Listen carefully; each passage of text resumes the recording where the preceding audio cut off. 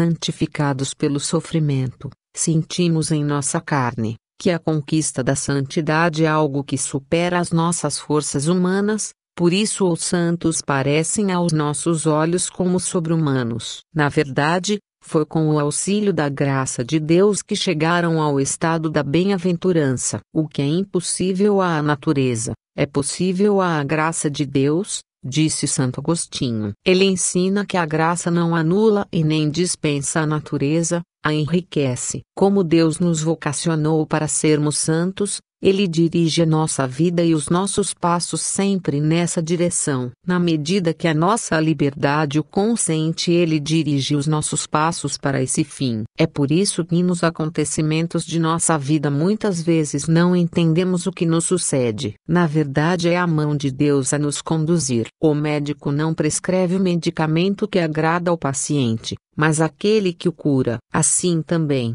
como o médico das almas, Deus nos apresenta muitas vezes remédios amargos, mas é para a nossa santificação. Assim, as provações e as tentações que Deus permite que nos atinjam são para o nosso bem espiritual. A Bíblia nos dá essa certeza. Aqueles que querem ser seus discípulos, o Senhor exige, Tome a sua cruz cada dia e siga-me. Lucas 9,23. Após a disposição interior de renunciar a si mesmo, é preciso a mesma disposição para tomar a cruz cada dia. Foi com a cruz que o Cordeiro de Deus tirou o pecado do mundo, e é também com a cruz que ele tira o pecado enraizado em cada um de nós. Sabemos que o sofrimento não é obra de Deus, é a consequência do pecado. O salário do pecado é a morte. Romanos 6,23. Para dar um sentido ao sofrimento, Jesus o transformou em matéria-prima da nossa salvação. Quem quer chegar à santidade não deve ter medo da cruz e deve tomá-la resolutamente,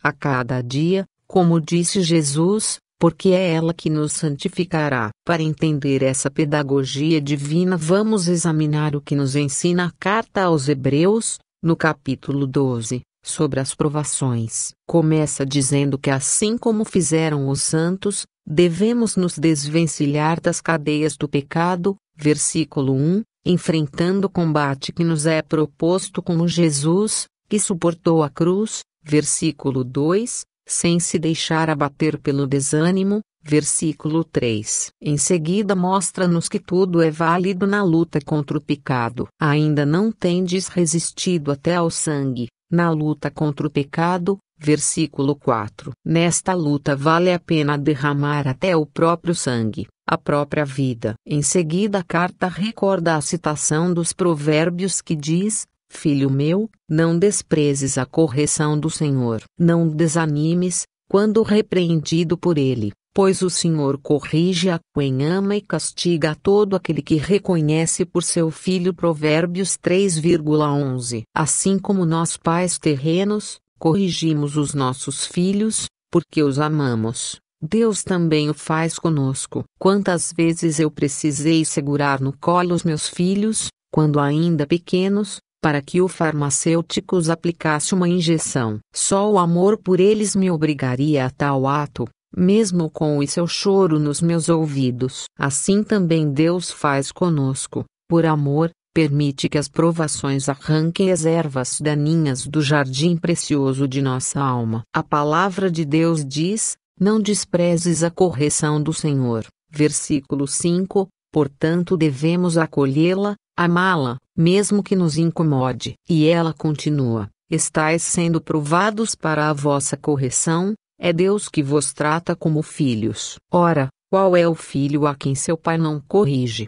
Versículo 7. Somos filhos legítimos de Deus, e não bastardos, por isso ele nos corrige, Versículo 8. E a palavra de Deus nos diz que ele nos corrige para nos comunicar a sua santidade. Versículo 10. Aí está a razão pela qual Jesus nos manda abraçar a cruz de cada dia. É pelas pequenas e numerosas cruzinhas de cada dia que o artista divino vai moldando a nossa alma, à sua própria imagem. A nós cabe ter paciência e aceitar cada sofrimento, cada revés, cada humilhação, cada doença, enfim, cada golpe do artista, com resignação e ação de graças.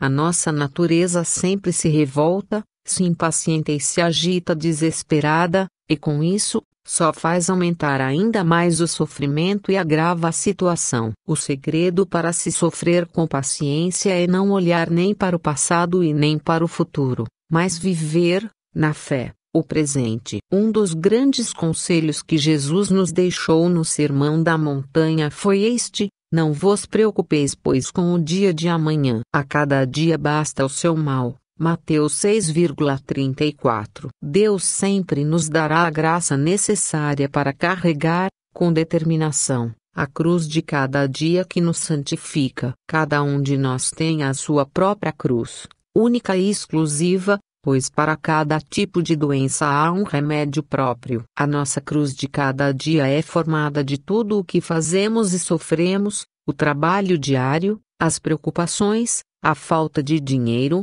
a doença, o acidente, a contrariedade, as calúnias, os mal-entendidos, enfim, tudo, o que nos desagrada. Tudo isto se torna sagrado quando abraçado na fé e colocado no cálice do sangue do Senhor celebrado a cada dia no altar. Certa vez, andando no cemitério, por entre as sepulturas, em dado momento deparei-me com essa frase em uma delas: A melhor oração é o sofrimento. É verdade, pensei, mas desde que seja abraçado na fé e na paciência, e oferecido ao Pai junto com o sangue de Jesus. A cruz se torna mais suave quando é aceita por amor a Deus. Jesus mesmo ensinou à confidente do seu coração, Soror benigna consolata, como se deve sofrer. Quando sofres, quer interna quer externamente, não percas o merecimento da dor. Sofre unicamente por mim. Sofrer tudo por amor a Jesus, Eis o segredo de sofrer bem. Santo Agostinho tem uma frase que nos ensina bem tudo isso: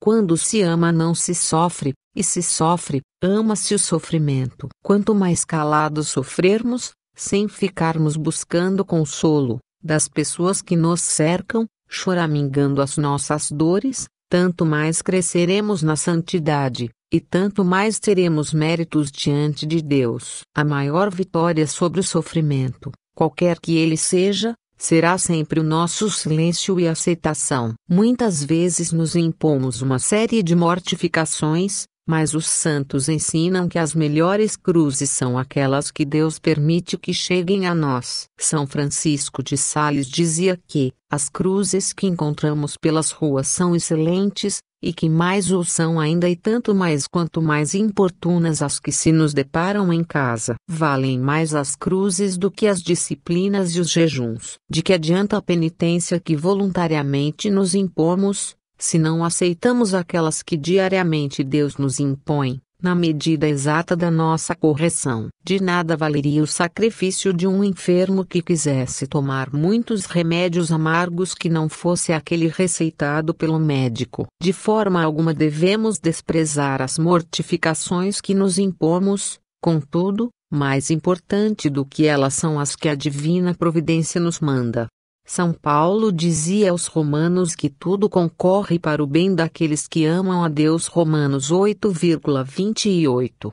Deus sabe aproveitar todos os acontecimentos da nossa vida para o nosso bem. Aceitar isso é ter fé, é saber abandonar-se nas mãos divinas, como o enfermo se entrega nas mãos do médico em que confia. Tudo o que podemos passar nesta vida é pouco em vista da grande obra de santificação que Deus quer fazer em nós. Não podemos perder de vista o objetivo de Deus Pai que nos predestinou para sermos conforme à imagem de seu Filho, Romanos 8,29. São Paulo tinha isto tão certo que disse aos Romanos: tenho para mim que os sofrimentos da presente vida não têm proporção alguma com a glória futura que nos deve ser manifestada. Romanos 8,18 é grande demais a obra que Deus está fazendo em nós. Santo Agostinho nos ensina que Deus não permitiria o mal se não soubesse tirar dele um bem maior, e que muitas vezes Deus permite que o mal nos atinja para evitar um mal maior. As provações nos fortalecem para o combate espiritual,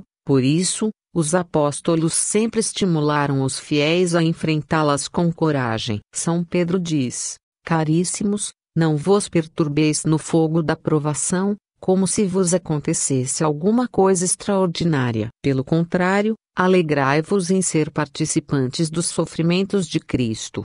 1 Pedro 4,12 E ele ensina que a provação nos levará à perfeição, o Deus de toda graça, que vos chamou em Cristo à sua eterna glória, depois que tiverdes padecido um pouco, vos aperfeiçoará, vos tornará inabaláveis, vos fortificará. 1 Pedro 5,10 É importante notar que o apóstolo ensina-nos que a provação nos aperfeiçoará e nos tornará inabaláveis. É importante não se deixar perturbar no fogo da provação, não se exasperar, não perder a paz e a calma, pois é exatamente isto que o tentador deseja. Uma alma agitada fica a seu bel prazer, não consegue rezar, fica irritada, mal-humorada, triste, indelicada com os outros, etc. O antídoto contra tudo isso é a humilde aceitação da vontade de Deus no exato momento em que algo desagradável nos ocorre, dando, de imediato, glória a Deus. Como São Paulo ensina, em todas as circunstâncias dai graças, pois esta é a vontade de Deus em Cristo Jesus, 1 Tessalonicenses 5,16 É preciso fazer esse grande e difícil exercício de dar glória a Deus na adversidade. Nesses momentos gosto de ficar glorificando a Deus, rezando muitas vezes o glória ao Pai, ao Filho e ao Espírito Santo, até que minha alma se acalme e se abandone aos cuidados de Deus. Essa atitude muito agrada a Deus, pois é a expressão da fé pura de quem se abandona aos seus cuidados. É como a fé de Maria e de Abraão que esperaram contra toda a esperança. Hebreus 11,17 a 19, e assim, agradaram a Deus sobremaneira. Jó agradou muito a Deus porque no meio de todas as provações, tendo perdido todos os seus bens e todos os seus filhos, ainda assim soube dizer com fé: no saí do ventre da minha mãe, no voltarei. O Senhor deu, o Senhor tirou. Bendito seja o nome do Senhor. Jó 1,21 Afirmam os santos que vale mais um bendito seja a Deus.